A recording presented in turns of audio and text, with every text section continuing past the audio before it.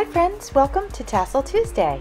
Be sure to check out all of our collaborators. They will all be listed in my description box or you can search hashtag Tassel Tuesday. Also, just so you know, this is an open collaboration, so if you would ever like to join in, please feel free to do so. Hi friends, so I want to show you the cute little tassel I made. First, let me just say I have my windows open today, and so you might hear some extra noise going on, but it's just because I have my windows open. And if it's like normal, we'll end up hearing a siren go by because you know every time I open my windows that happens. Anyway, let's get to this cute tassel.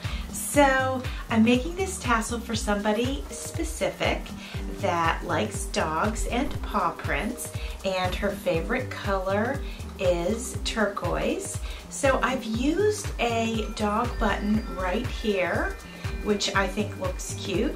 And I've I had this turquoise ribbon that actually came in one of the ribbon packs from Michaels. It's like a variety ribbon pack. And that's where I got that. And then this adorable yarn that I got, I found, believe it or not, at the dollar store. So that was a great find. And then I have a few, just a few strands of this very fine um, nylon ribbon that I actually got from Beebeecraft. And so that's that. Now I've embellished some of the turquoise ribbon with some paw prints on this side. And then over here there's a little dog bone. And then a few of the nylon strands, I just put some beads on them and a little dog bone. And you can see there's a turquoise bead and then pink and purple. I got the pink and purple at the thrift store. That was a thrift store find. And then over here, I think there's one more bead. Yeah, I got purple, pink, and white. And all of those were also thrift store finds.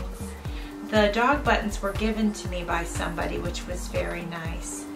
So here is our cute little tassel. This one measures probably five inches, I would say, top to bottom, not including the hanging part. I will get a few photos and zoom in on that.